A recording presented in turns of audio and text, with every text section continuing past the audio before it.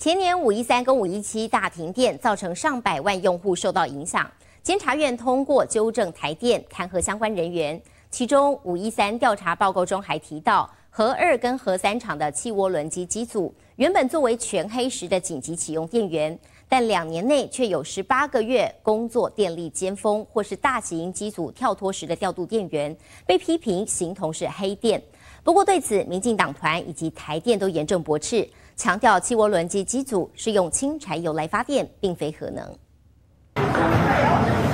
突如其来一片黑，让民众抱怨连连。针对前年五一三和五一七，以及去年三零三大停电，监院调查出炉，发现是人为疏失，对台电提出纠正，弹劾相关人员。不过调查报告中这件事起争议。纠正内容提及，核二三厂的气涡轮机机组原本作为主要紧急全黑时启动，供给厂内机组的紧急电源，但一百零九到一百一十年的十月间，共有十八个月工作电力尖峰或大型机组跳脱时的调度电。源，监委批评例外变常态，且发电量未纳入电业年报，形同黑电，应确实检讨改进。他把不应该呃作为紧急供电的这个电力，哈，作为这些紧急供电之用，